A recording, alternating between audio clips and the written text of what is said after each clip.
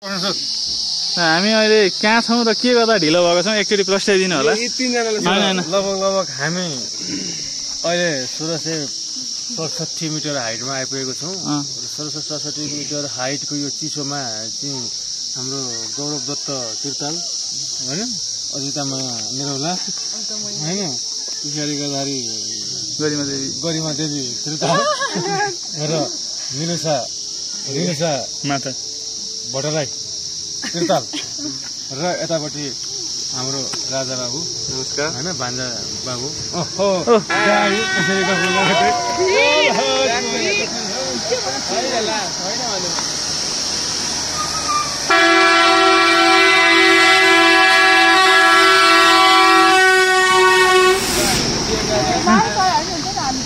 सगल हामी होइन हामी चाहिँ के गर्दा ढिलो भएको? अलिकति यहाँ प्रस्ताइदिनु न त्यही मात्र हो कुरा। यो यसको gist do and die and hire and फायरको स्थितिमा प्रश्नको एन्सर खोजिएको छ यो चाहिँ के भनेदेखि लिपस्टिक।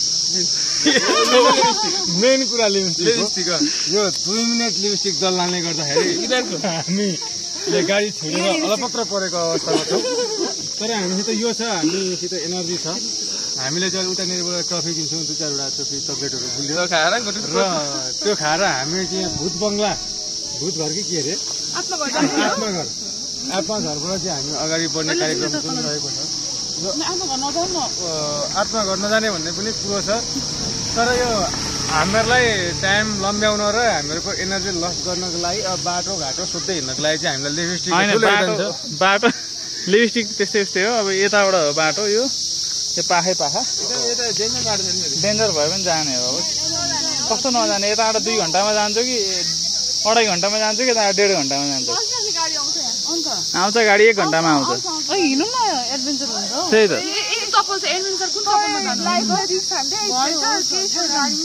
अनि तिमीहरूलाई अघि नै मैले नतल भनेको त हो नि लिमिटेड कारणले हामी अहिले गाडीको सिटमा हुन्थ्यौँ। हो। तर त्योबाट वञ्चित भयो आक्रोश पोख अलिक तिनजना हिँडेर जानु पर्यो ननिस्किँदा पनि त मुखमा लाउने कुरा त लाउँदै गर्दा हुन्छ नि यस्तो हो क्या एकछिन पछाडि गाडी आउँछ एकछिन हामी वेटिङ गरौँ आउँदैन आउँछ भन्छ तिमी एक घन्टा मान्छेलाई